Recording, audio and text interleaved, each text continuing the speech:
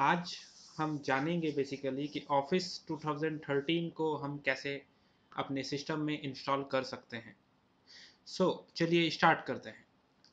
जब आप नीचे दिए गए डिस्क्रिप्शन में आपको एक लिंक है अवेलेबल है गूगल ड्राइव का आप उस लिंक पर जाएँगे वहाँ से एक फ़ाइल डाउनलोड करेंगे ये एक रार फ़ाइल डाउनलोड होगा।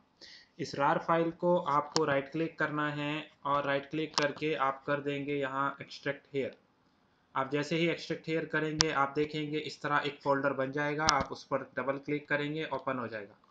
इस फोल्डर के अंदर आप देखेंगे यहाँ एक सेटअप का फ़ाइल होगा, आप इस सेटअप फ़ाइल पर राइट क्लिक करेंगे राइट क्लिक करके रन एज एडमिनिस्ट्रेटर कर देंगे। नोटिफिकेशन आएगा, उसको यस कर देंगे प्रोसेस होना स्टार्ट हो जाएगा।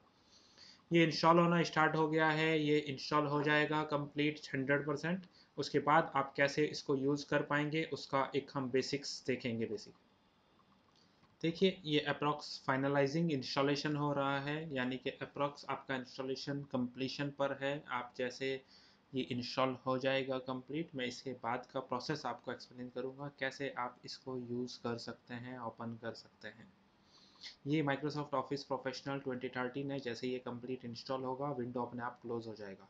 अब आप चेक करने के लिए क्या कर सकते हैं, आप अपने स्टार्ट विंडो पर जाइए स्टार्ट विंडो पर जाकर आप यहाँ से चेक करिए एम पर। माइक्रोसॉफ्ट ऑफ़िस पर आइए। माइक्रोसॉफ्ट ऑफ़िस 2013 आप यहाँ देख सकते हैं। माइक्रोसॉफ्ट एक्सेस आ गया है। माइक्रोसॉफ्ट वर्ड आ, आ जाएगा। वर्ड 2013 आ गया है। सेम इसी तरह सब इसके ऑप्शंस आपके पास आ गए हैं। अगर आप चेक करेंगे पावर पॉइंट ट्वेंटी भी आ गया है। तो आप अगर देखना है आप क्लिक करें।